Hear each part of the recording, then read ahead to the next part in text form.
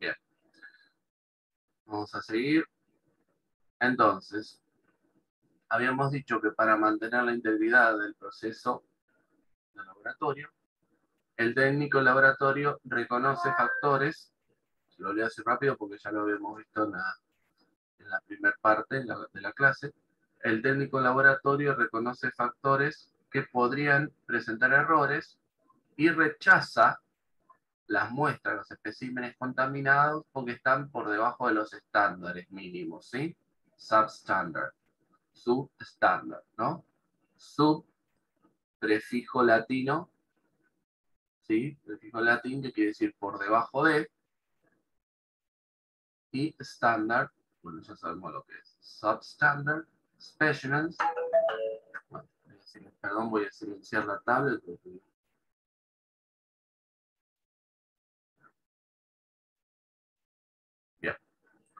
No, ahora sí. Bien. Entonces, reconoce todo esto. Y acá tenemos esta expresión. As well as. As well as. Que quiere decir como así también. Como así también quiere decir. As well as. También lo pueden traducir como y también. Y además esos son más informales. El más formal sería como así también. ¿Qué más? Como así también que investiga, investigates. ¿Sí? ¿Qué cosa? Resultados, results, investiga resultados de qué tipo? Discrepant. Resultados discrepantes. O sea, cuando hay discrepancia entre este resultado, pero esto no puede ser. Este, perdón. Este resultado no puede ser. A mí me parece que acá pasó algo, hay un problema acá. Entonces, eso, cuando hay algo que es así, ustedes tienen que tratar de encontrar en dónde es que hay un por qué la discrepancia. El método, en el análisis, cómo fue hecho, hay validación, está mal el, equipo, o sea, el, el, analizador automático, puede llegar a tener que hacer la famosa calibración, como vimos, controles de calidad, como vimos, bueno, todo lleva lo mismo, ¿no? Es algo que consume e insume tiempo, estar adentro del laboratorio haciendo todo el, el trabajito. Bien.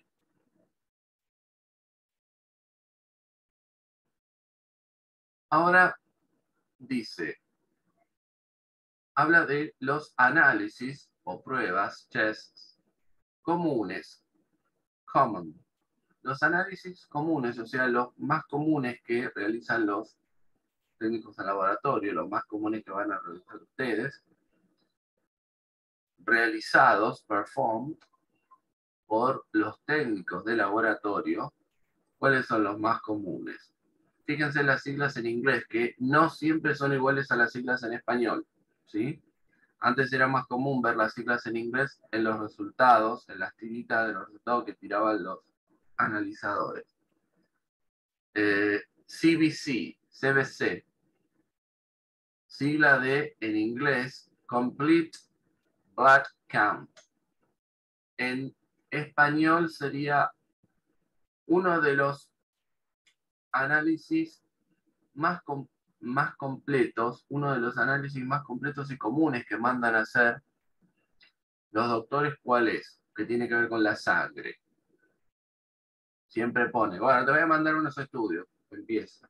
Y el primero que pone es, ¿qué cosa completo? El, que tiene que ver con el hemograma, claro. Hemograma completo, ese es CBC en inglés por las siglas en inglés de Complete blood count, hemograma completo. ¿Sí? Bien. Es toda una batería de análisis, en realidad, esa prueba. ¿Sí? Bien. Luego tenemos este, CMP. Perdón, ¿por qué yo digo CBC? No, te dirán, ahí dice CBC, yo digo CBC.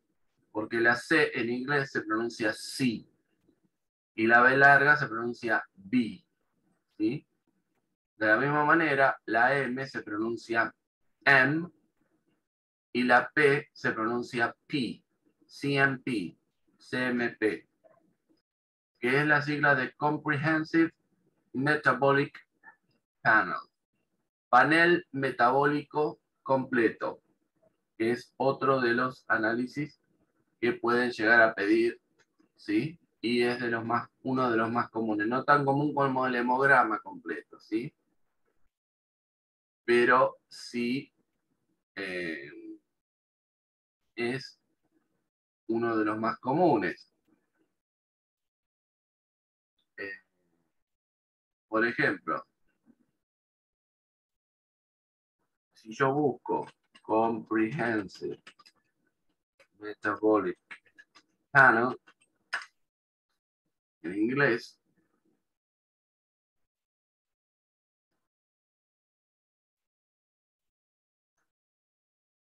eh,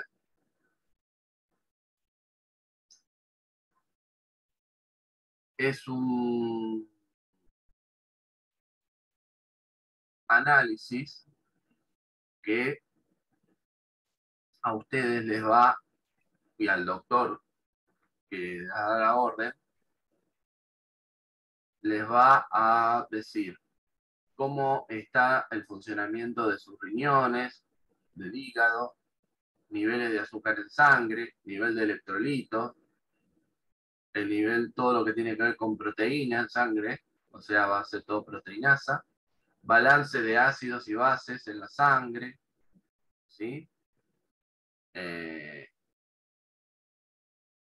todo que tiene que ver con eso. Pruebas hepáticas de alcalina, fosfatasa, alalina, aminotransferasa, aspartasa, aminotransferasa también, bilirrubina, nitrógeno ureico en sangre, creatinina, prueba de electrolitos, sodio, potasio, cloruro, dióxido de carbono. Perdón que capaz que estoy diciendo esto y ustedes dicen, es que, está hablando, ¿no? O sea, pero eh, quizás alguna de estas expresiones ya la hayan, ya la hayan estudiado, ¿sí? Tampoco, pues, es así. Bueno, no me voy a extender mucho más sobre el eh, entonces, vamos a volver a compartir la pantalla del eh, este. Ahora sí. Bien. Eh, panel metabólico completo. Entonces, también existe el panel metabólico básico, que tiene eh, menos análisis, creo que tiene tres o cuatro menos, ¿sí? Pero generalmente piden todo el completo, panel metabólico completo. Luego ven que dice electro, Electrolyte Panel, panel de electrolito, o sea, prueba de electrolito. ¿sí? ¿Ya vieron ustedes la parte de electrolito, algo? ¿La estudiaron o no? ¿La llegaron a ver en algún apunte? No, profesor. ¿Todavía no? Bueno. Bueno. Eh, electrolito, eh, todo aquello eh, mineral o algo que tenga que ver con o elementos de la sangre, minerales que tengan que ver con el correcto balance justamente de electrolito en sangre.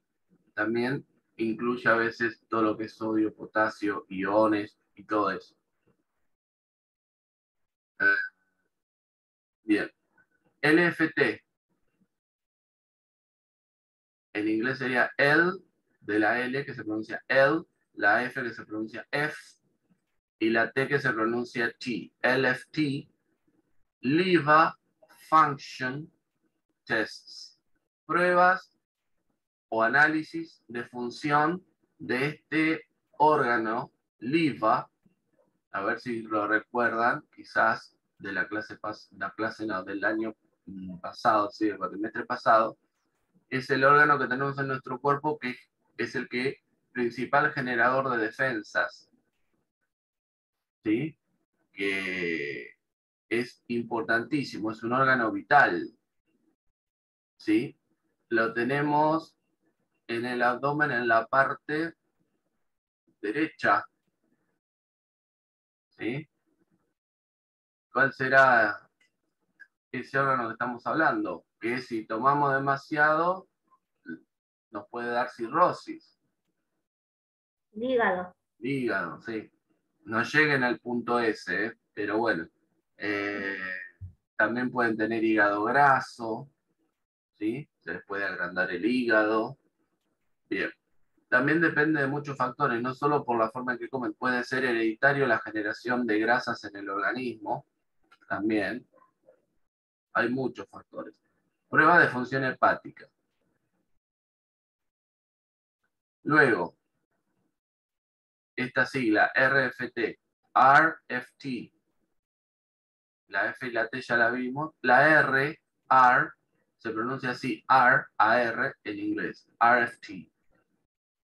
Así como esto era pruebas o análisis de función hepática, esto es análisis de función renal. Esto es igual que se escribe igual en español, se pronuncia renal. Renal function. Análisis o pruebas de función eh, renal de los riñones. ¿Sí? Luego, TFT, TFT, tenemos el análisis de la función thyroid, de la función tiroidea, ¿sí? T4, TSH, no sé si alguno de ustedes se ha hecho alguna vez o se ha tenido que hacer ese tipo de análisis, pero bueno, ahí es, un análisis, ese es el análisis eh, que engloba, por ejemplo, todo lo que tiene que ver con TSH, T4, hormona, ¿no? Bien. Después también uno de los análisis más comunes pedidos y que se hacen es el este que resalté acá, urinalysis. Análisis de orina. Análisis de orina. En inglés es urinalysis. Análisis de orina. Bien.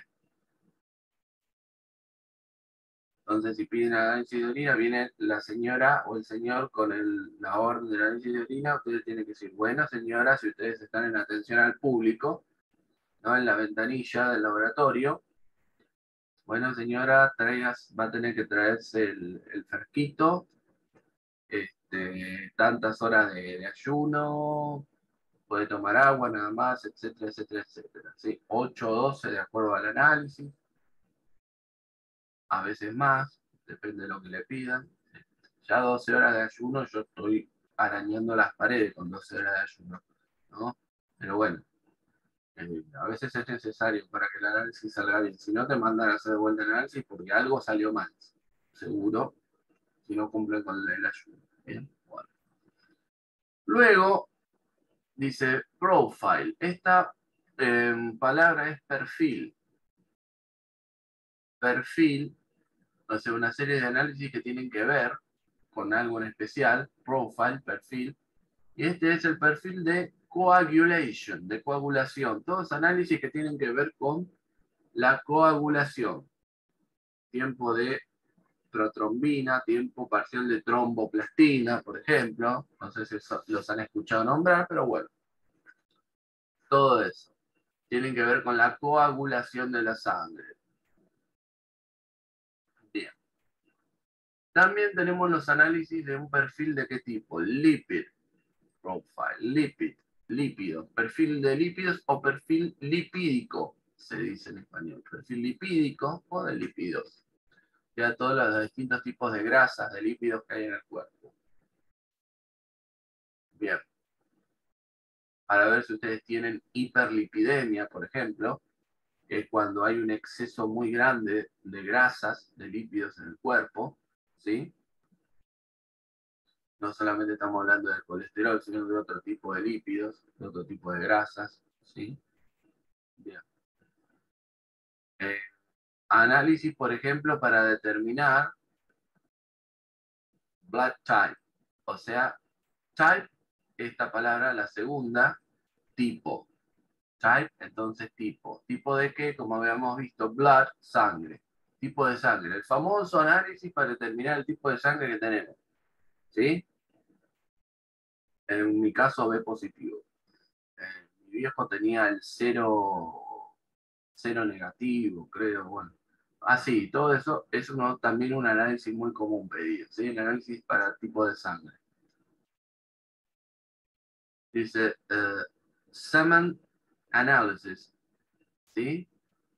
Análisis, ¿sí? De semen que se usa para qué tipo de estudios, studies, como dice acá. Estudios de fertility, de fertilidad, ¿sí?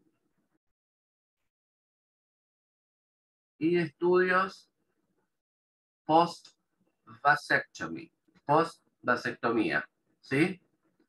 Estudios de fertilidad y después estudios post-vasectomía, ¿sí? Bien.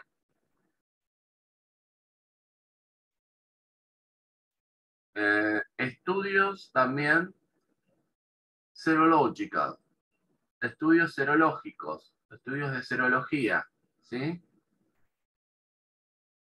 Y también algo muy común que hacen, que lo van a hacer en las prácticas también, cultures, que no quiere decir culturas, sino que quiere decir cultivos.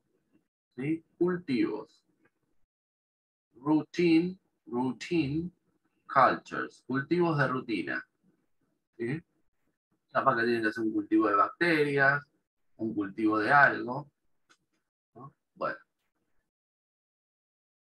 Ah,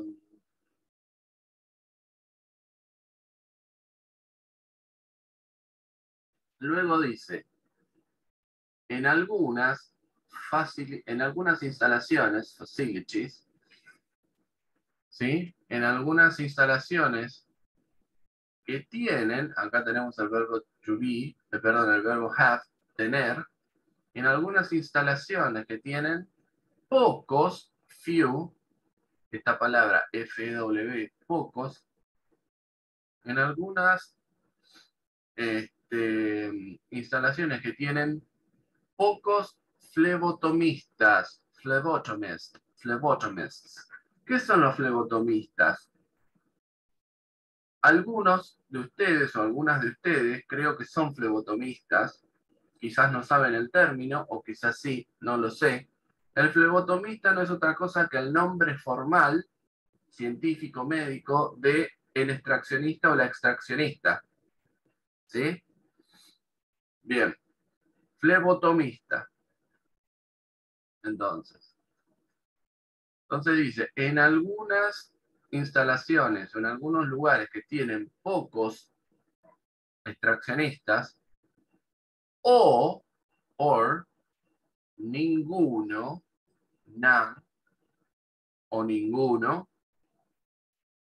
Cuando, por ejemplo, entonces texto me está diciendo que hay algunos lugares, cuando se da la situación de que en un lugar hay muy pocos extraccionistas, pero muy pocos, o directamente no hay ningún extraccionista como tal, ¿qué pasa? Por ejemplo, pasa esto en rural areas, en áreas rurales, ¿sí? Quizás haya pocos extraccionistas y uno o dos nada más, o directamente no hay. ¿Qué pasa con eso? El técnico de laboratorio, a que no adivinan qué le mandan a hacer al técnico de laboratorio, aunque no sea extraccionista, lo que, una de las primeras cosas que ustedes van a aprender a hacer en las prácticas o ya han aprendido.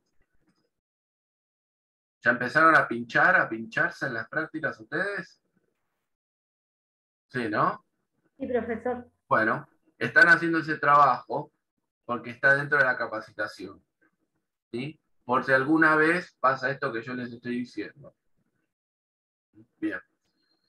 Entonces, los técnicos de laboratorio pueden pueden realizar, may perform, pueden realizar, pueden, acá tenemos el verbo may como poder de posibilidad, pueden realizar qué cosa? Flebotomy, flebotomía o flebotomías. ¿Sí? Flebotomías, o sea, ¿qué es la flebotomía? La extracción, ¿sí? La extracción de sangre o de puede ser de otro líquido, pero generalmente es la extracción de sangre, ¿sí? Pueden realizar entonces, en esos casos, el técnico laboratorio puede realizar la flebotomía, dice, en pacientes, on patients, ¿sí? En pacientes. Ya que esta habilidad, skill, skill quiere decir habilidad o capacidad, es parte, part, del que, del entrenamiento, training, training, del entrenamiento de qué tipo, clínico. Por eso ustedes les están enseñando esto, porque es una de las cosas básicas que tienen que saber. A ver, el que no es extraccionista, quien no es extraccionista, lo va a aprender igual. Y el que es extraccionista, que ya está ducho, bueno, ayuda a los demás también. Bueno, pasa de todo. A mí me quisieron agarrar una vez, pero, profe, ¿se deja pinchar el brazo? ¿Qué? Salí corriendo así, no se me veían las piernas, no. Yo tengo medio fobia que me pinchen, únicamente si es muy necesario. Este, profe, le pagamos la. Ya me dijeron, si se deja pinchar, le pagamos la merienda. Listo. Así que bueno. Bueno, vamos a dejar acá. La clase que viene terminamos con este texto, ¿sí? Así tienen tiempo para ir al baño para calentar el agua para el mate y demás. ¿Sí? Este, sí, ya alguien se está riendo. No, no, pero pasa de verdad. Si ustedes cuando hacen las prácticas me ven ahí eh, por, la, por las escaleras porque estoy dando clases presenciales a los del primer cuatrimestre. Profe, necesitamos alguien para pincharse. Bueno, ahí en el bar Facundo me encuentran, me pagan la merienda entre todos. No soy caro, soy económico, chicas en el sentido de la. Eh, perdón por la aclaración. Pero vale. Así que bueno, listo, las dejo tranquis. Voy a dejar de grabar.